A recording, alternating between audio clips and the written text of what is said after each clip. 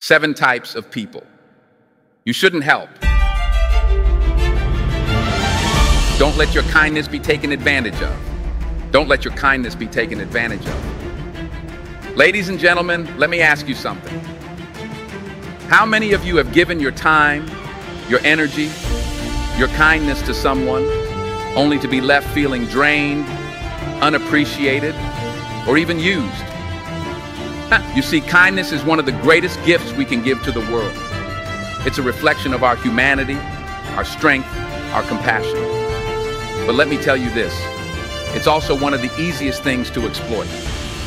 Not everyone deserves your help. I know that sounds harsh, but it's the truth. Some people will take your kindness and turn it into a tool to control you, to drain you, to use you. And if you don't learn to protect your energy, you'll find yourself giving to the wrong people while the right ones go unnoticed. Today, I'm going to show you seven types of people you should never help. Not because kindness is a weakness, but because protecting your peace is your greatest strength. By the end of this, you'll walk away knowing exactly who deserves your time and energy and who doesn't. So are you ready to reclaim your power? Let's go.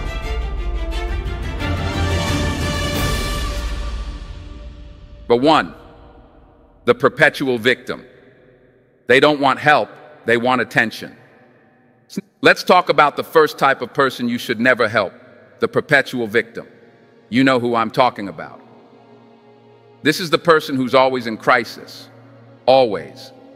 Every week there's a new disaster, a new struggle, a new sob story. And at first, you feel for them. You step in, you help, because that's what kind people do. But here's the thing they don't actually want your help, they want your attention. you see, the perpetual victim isn't interested in changing their circumstances.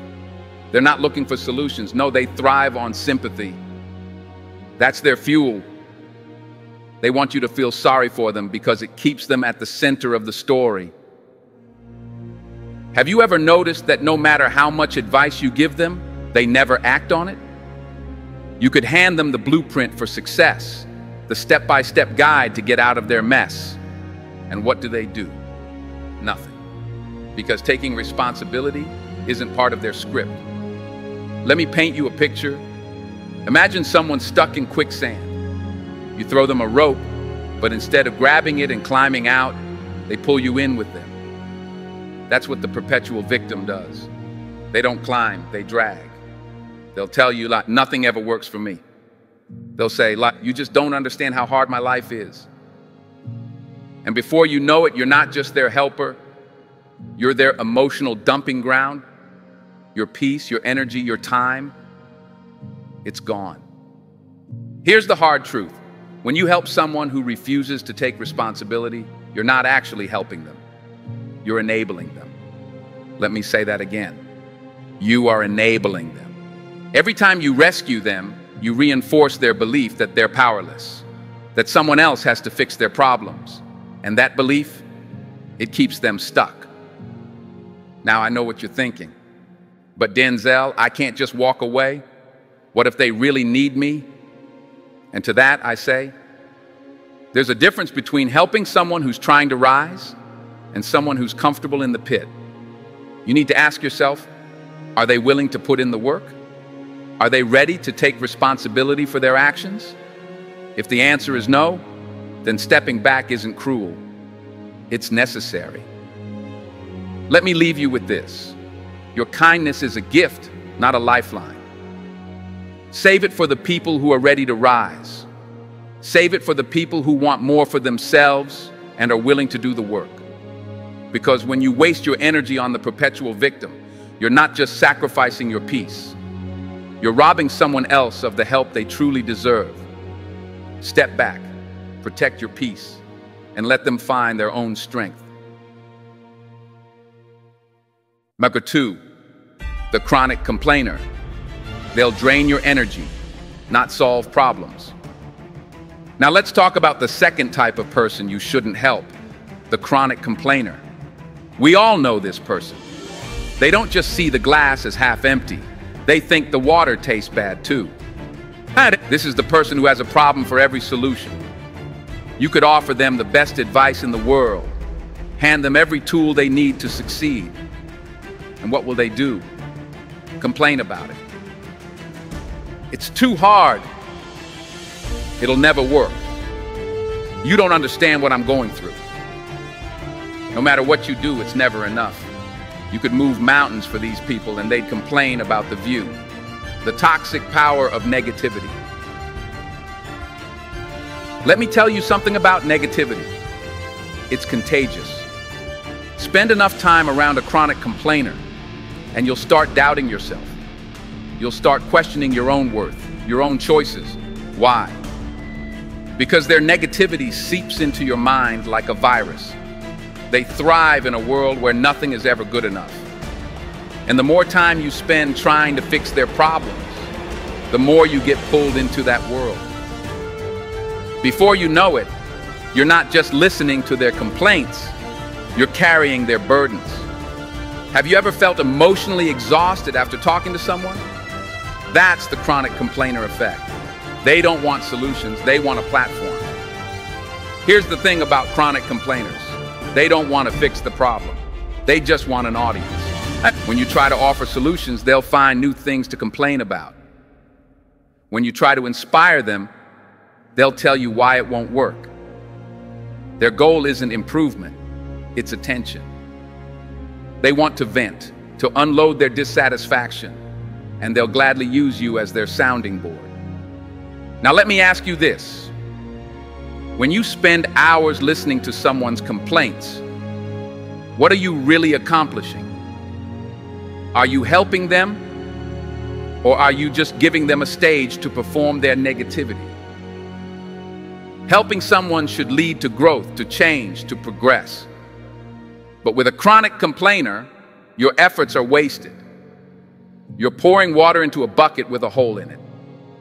No matter how much you give, it will never be enough. So, what do you do? How do you handle someone who's always dissatisfied, always negative? You set boundaries. You stop trying to fix problems they don't want fixed. Instead, you redirect your energy toward people who are ready to make positive changes. And when they try to drag you back into their world of complaints, remind yourself their dissatisfaction is not your responsibility.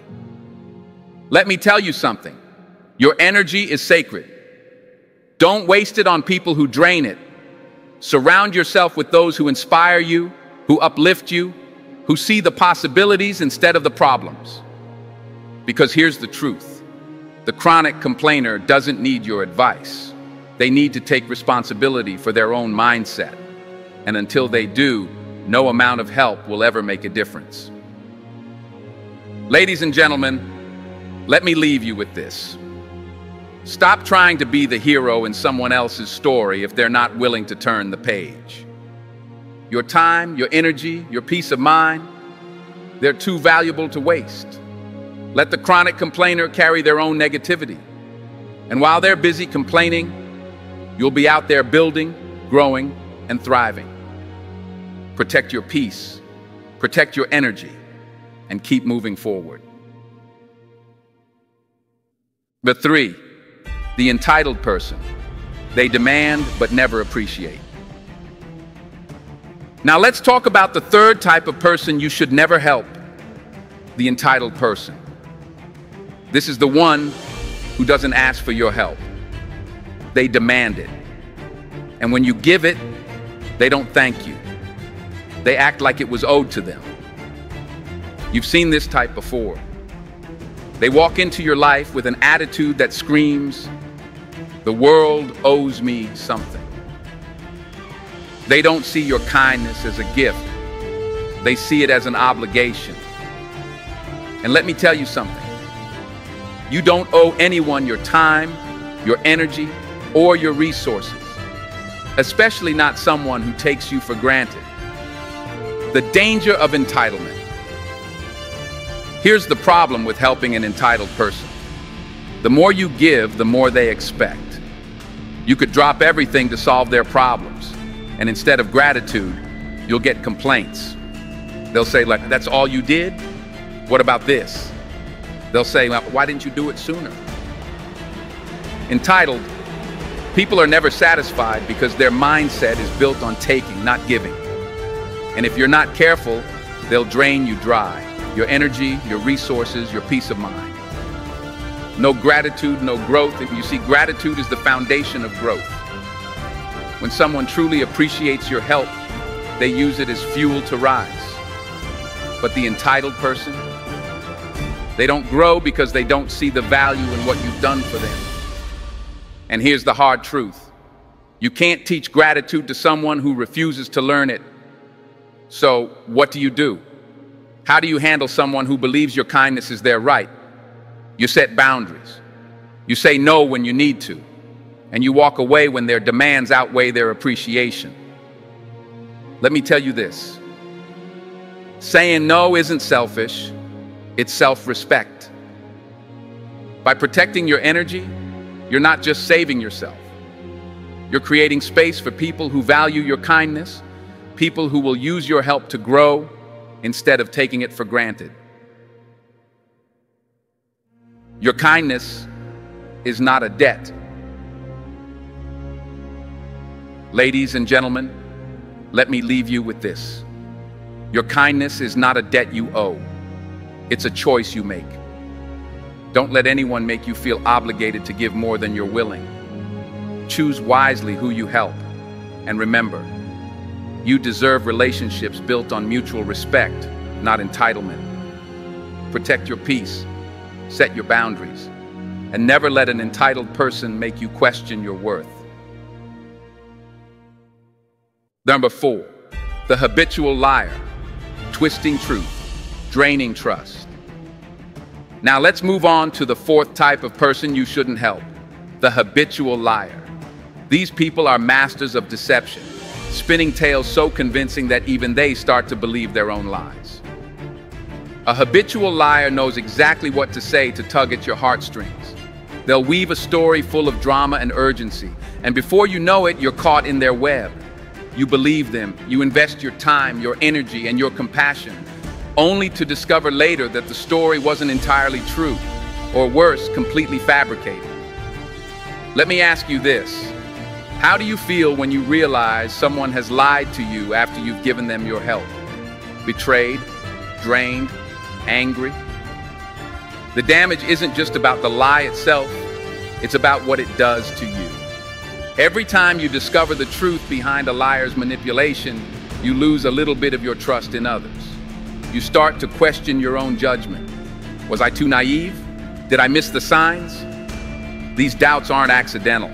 Habitual liars thrive on creating confusion and uncertainty. They manipulate your empathy, using your kindness as a weapon against you. Here's the thing. Helping a habitual liar doesn't just waste your resources. It enables their behavior.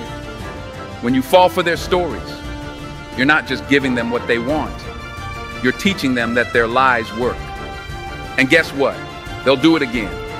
Not just to you, but to the next person and the next. Lying becomes their strategy for survival. And every time you help, you reinforce that strategy. But here's the twist. Habitual liars aren't just hurting you, they're hurting themselves. Every lie they tell isolates them further making it harder for people to trust them, and ultimately harder for them to trust themselves. So, how do you recognize a habitual liar before they drag you into their chaos? Consistency in drama. Their stories often sound too dramatic or exaggerated to be true. Changing details. Pay attention to inconsistencies in their narrative. One day it's one thing, the next it's something entirely different. No accountability. They never take responsibility for their actions. Instead, they blame others or uncontrollable circumstances. When you see these signs, it's time to step back. Protect yourself from the liar's web. Here's what you need to remember. You're not obligated to fix someone else's lies. Your energy is precious and wasting it on someone who manipulates and deceives only drains your power. When faced with a liar, you have two choices. Confront the truth. If the relationship matters to you, call them out respectfully. Let them know you see through their lies and won't tolerate manipulation. Walk away. If they refuse to change or continue their pattern, it's time to protect your peace by removing yourself from their influence. Your kindness is sacred. Ladies and gentlemen, let me tell you this. Your kindness is sacred. It's not a reward for dishonesty or manipulation. When you help someone who lies, you're not just hurting yourself. You're enabling their spiral. But when you stand firm, when you refuse to play their game, you force them to confront their own truth.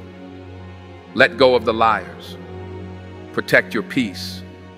And remember, your honesty deserves honesty in return. Number five, the opportunist. They take, then disappear. Let's talk about the fifth type of person you shouldn't help, the opportunist. These people are smooth, charming, and convincing. They know how to make you feel like helping them is your opportunity, when in reality it's theirs to take advantage of you.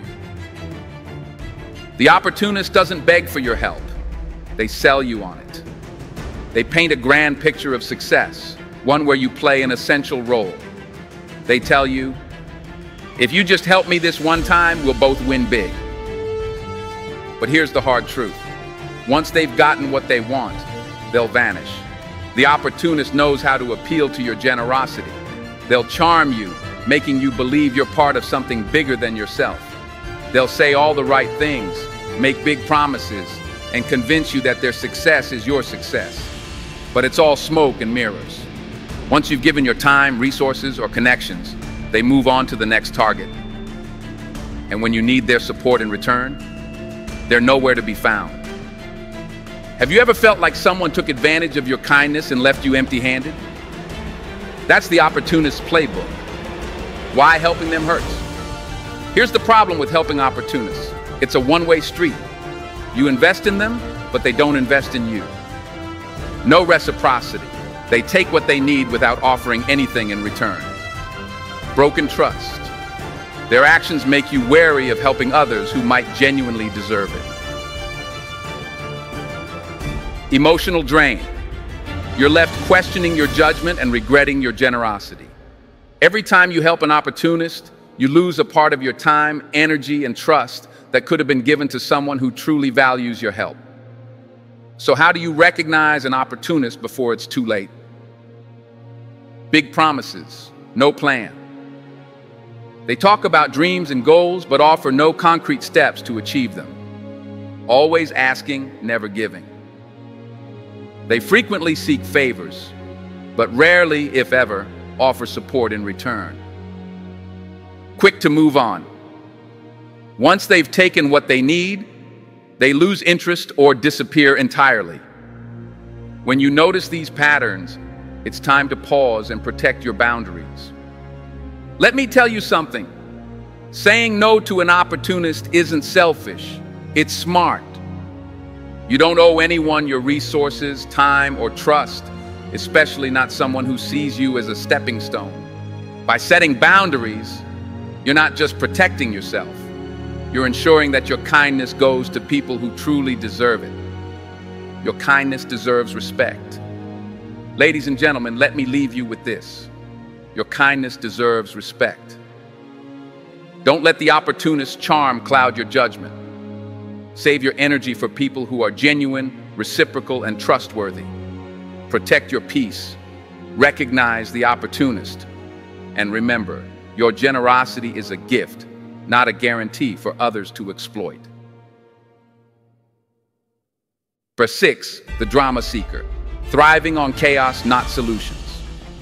Let's talk about the sixth type of person you should never help, the drama seeker. These people don't just live in chaos, they create it. And if you're not careful, they'll pull you right into their whirlwind. You know this type. They always seem to be in the middle of some crisis. Their life is a never-ending soap opera, and they're the star of the show. The thing is, they don't want the drama to end. because the chaos gives them attention, control, and purpose. But here's the kicker. They'll convince you that you're the only one who can fix their problems. Here's how it starts. They'll call you, text you, or show up at your door with a new disaster. At first, you feel sorry for them. You think, this person really needs my help. So you step in, you give advice, you offer solutions, you even go out of your way to help them fix the problem. And what happens? A week later, there's another crisis, then another. You start to realize this isn't about finding solutions, it's about feeding their need for attention. Drama seekers thrive on the emotional highs and lows of their chaotic lives. They don't want peace. They want the thrill of the storm, and they'll gladly pull you into it to keep the show going. Helping a drama seeker doesn't just waste your time, it drains your energy and peace of mind. Endless cycle. No matter how much you help, the drama never stops. Emotional exhaustion. Their constant crises wear you down, leaving you emotionally depleted. Lost focus. While you're busy solving their problems, you're neglecting your own growth and goals. Think about it. How much time have you lost getting dragged into someone else's chaos? Time you could have spent on your own dreams, your own success. So how do you recognize a drama seeker before you get pulled into their storm? Constant crisis. Their life is always in turmoil, and there's always someone else to blame. No solutions. They reject advice or solutions because solving the problem would end the drama. Emotional manipulation. They make you feel guilty for not stepping in, saying things like, you're the only one I can count on. When you notice these signs, it's time to draw the line. How to break free. Here's the truth. You can't fix someone who doesn't want to be fixed. The best thing you can do is set boundaries. Detach emotionally. Recognize that their chaos is not your responsibility. Limit your involvement. Offer minimal help and don't let their drama consume your life. Focus on yourself. Redirect your energy toward people and projects that bring you joy and fulfillment. It's not your job to calm a storm that someone else keeps creating. Your energy deserves better. Ladies and gentlemen, let me leave you with this. Protect your peace because no one else will do it for you. The drama seeker will always have a new crisis, but you don't have to be part of their story. Step back, set boundaries, and focus on building a life filled with purpose, not chaos. Your energy is too valuable to waste on drama. Use it to build something extraordinary instead. Seven, the manipulator turning your kindness into their weapon. Let's dive into the seventh and final type of person you should never help, the manipulator. These are the people who don't just want your help, they want control. They take your kindness, twist it, and use it to bind you into a cycle of guilt and obligation. Manipulators don't ask for help outright. They make you feel like you have no choice but to offer it. They'll say things like, you're the only one who understands me. Or if you don't do this, I don't know what I'll do. Their goal? To make you feel responsible for their well-being. And before you realize it, you're no longer helping out of generosity, you're helping out of guilt. The manipulator's playbook. Here's how they operate. Guilt as a weapon. They twist every situation to make you feel like the bad guy for setting boundaries endless demands. The more you give, the more they expect, and they'll never acknowledge your efforts as enough. Emotional blackmail. They play on your empathy, making you feel like their happiness or success is entirely in your hands. Manipulators thrive on making you doubt yourself. They push just enough to keep you hooked, using your kindness against you to meet their needs. Helping a manipulator isn't just draining, it's destructive loss of control. You begin to feel like your time, energy, and resources are no longer your own. Emotional burnout. Their constant demands leave you mentally and emotionally exhausted. Erosion of self-worth. Over time, their tactics can make you question your own value and boundaries. And the hardest part, manipulators don't change unless they're forced to face their behavior. So, how do you protect yourself? Set firm boundaries. Be clear about what you will and won't do and stick to it. Refuse to engage in guilt trips. Recognize their tactics for what they are and don't let them manipulate your emotions. Know when to walk away. If they continue to push, it's time to prioritize your peace over their demands. Saying no to a manipulator isn't selfish, it's survival. Your kindness is sacred. Ladies and gentlemen, let me leave you with this. Your kindness is sacred, and it should never be twisted into a tool for someone else's control. Manipulators will always try to weaponize your generosity, but you hold the power to stop them. Stand your ground, protect your peace, and remember, true kindness uplifts. It doesn't bind you to guilt or obligation. Choose wisely. Your kindness is a gift, not a contract. Protect your kindness. Protect your peace. Ladies and gentlemen, let's take a moment to reflect. We've covered seven types of people you should never help. The perpetual victim, the chronic complainer, the entitled person, the habitual liar, the opportunist, the drama seeker, and the manipulator. Each of these types shares one thing in common. They drain your energy, your time, and your peace without giving anything in return. And here's the truth. You're not obligated to help people who refuse to help themselves. Your kindness is a gift, not a duty. When you give it to the wrong people, you lose not just your time, but a part of yourself. But when you choose wisely, when you invest your energy in those who value and reciprocate your kindness, you create relationships that uplift and inspire. So here's my challenge to you. Look at the people in your life. Are they lifting you up or are they dragging you down? Are they grateful for your help or are they taking it for granted? Say it with me. I will protect my peace. I will choose wisely. I will help those who value my kindness, and I will walk away from those who don't. Your kindness is your power. Use it wisely.